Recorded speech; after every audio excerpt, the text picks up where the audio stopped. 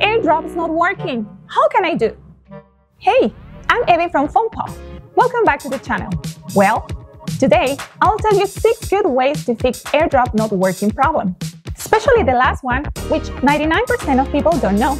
Now, hit the like and subscribe buttons and join me to fix it now. Now, let's have a look at the first phase. AirDrop relies on Wi-Fi and Bluetooth, so you should make sure they're both turned on. Step 1. Launch Settings. Step 2. Tap Wi-Fi and Bluetooth. Tap the switch next to them to toggle it off. Then, tap it again to turn it on.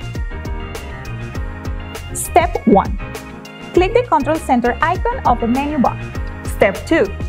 Then, click the Bluetooth and Wi-Fi icon to toggle the switches next to them. You can check whether you have switched your AirDrop to everyone. Step 1. Launch Settings. Step 2. General, AirDrop, everyone for 10 minutes. Step 1. Open Finder. Select AirDrop from the Finder sidebar. Step 2 click Allow me to be discovered by and select Everyone. By the way, if you need to transfer large files with multiple types, you can try FonePaw iOS Transfer, a really useful tool for you to transfer files between iOS devices. It can transfer data quickly and avoid quality loss. Try it for free and get the download link from the description below. Now, let's come back to the AirDrop tips. If your personal hotspot is on, AirDrop won't work, so you must turn it off. Step 1. Launch the control center. Step 2.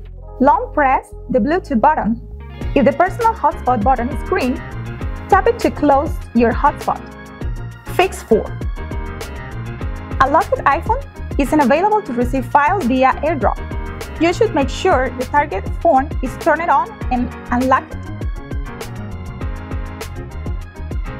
AirDrop can be used on any iPhone running iOS 7 or later, iPad running iPad OS 13 and later, and Mac running OS X 10.10 or higher.